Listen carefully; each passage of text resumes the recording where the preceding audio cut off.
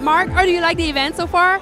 Uh, the event's going great. People seem super excited about the game. It's great to see it projected up on a screen that is four stories tall. Uh, the game itself is amazing. Uh, I've had a chance to play it, and it's just mind blowing. It's so loud here. I know. There's a giant party going on. This is the coolest launch event party I've been to. Uh, since I've been at Activision, uh, Beenox and Quebec really know how to blow it out. It's really awesome. All right, and did you enjoy playing on the on the big screen? Oh my god, yeah. I got to play as Ultimate on the big screen. He crawled all over, he swung around. It was awesome.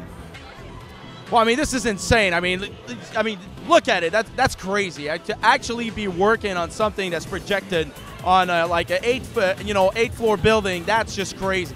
What we're living right now is totally unique in Quebec City. I've never seen something like that. I'm just, I'm pinching myself right now. That's what I'm doing.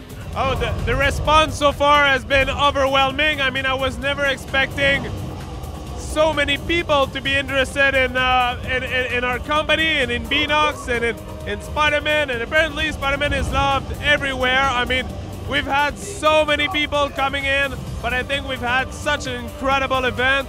It's, it's, it's been just awesome.